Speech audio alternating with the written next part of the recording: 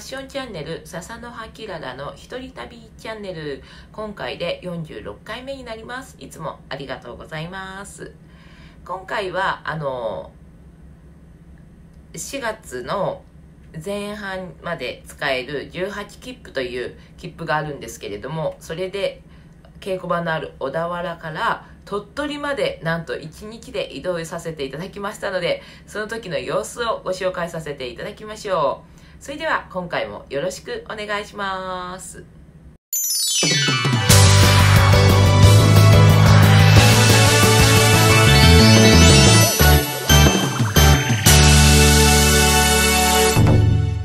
ということでパッションチャンネル笹の葉きららの一人旅チャンネル今回で46回目になります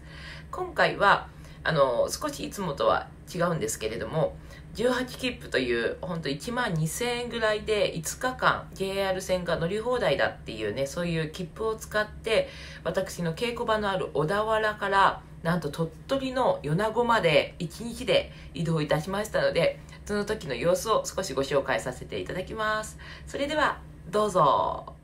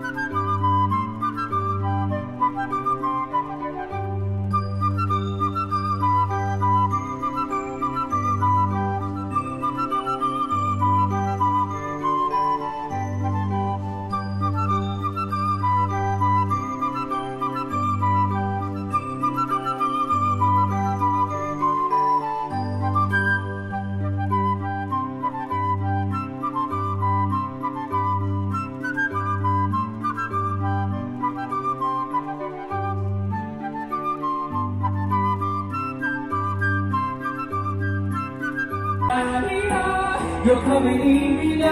ら進む。そんな世界を二人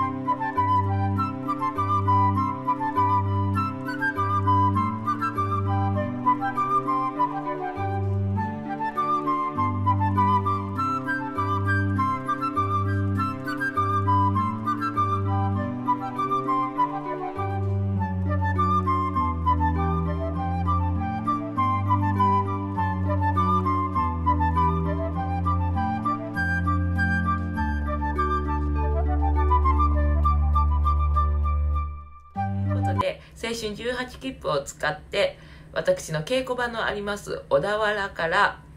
鳥取県の米子まで移動いたしました。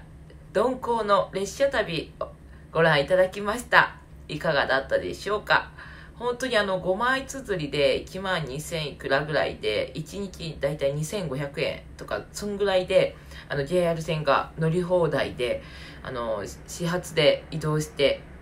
間結構寝寝ながらあの移動させていただきました。すごい鳥取まで行けるんだなっていう感じでございます。それでは次回はその鳥取であの少し観光しましたのでその時の様子をご紹介させていただきます。それではまたお会いしましょう。バイバイ。